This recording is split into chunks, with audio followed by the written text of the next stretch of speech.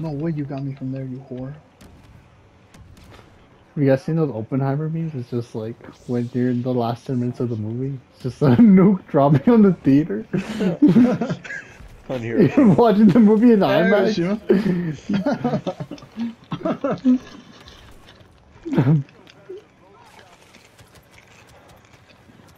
You just see the freaking the the ceiling of the theater open and just fall on you.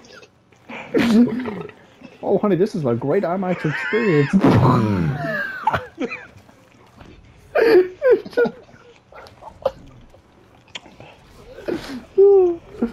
oh man.